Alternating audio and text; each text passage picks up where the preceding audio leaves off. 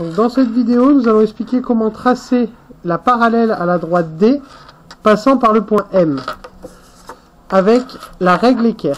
Pour cela, nous allons nous servir des graduations qu'il y a ici et ici et du support pour tracer notre trait. Le bout de la règle équerre se place sur le point M, ici.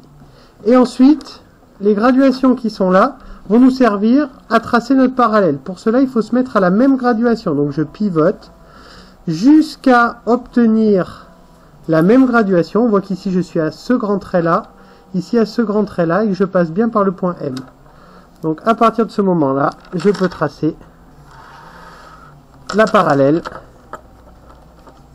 des primes.